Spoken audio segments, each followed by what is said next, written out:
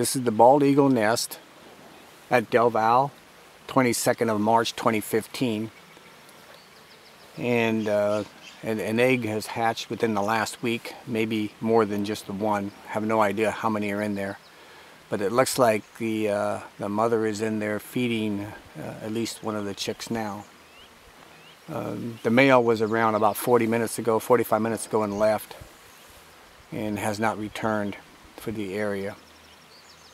But it looks like the, the mom is is feeding one of the young right now. If, if there's more than that, we, we can't tell.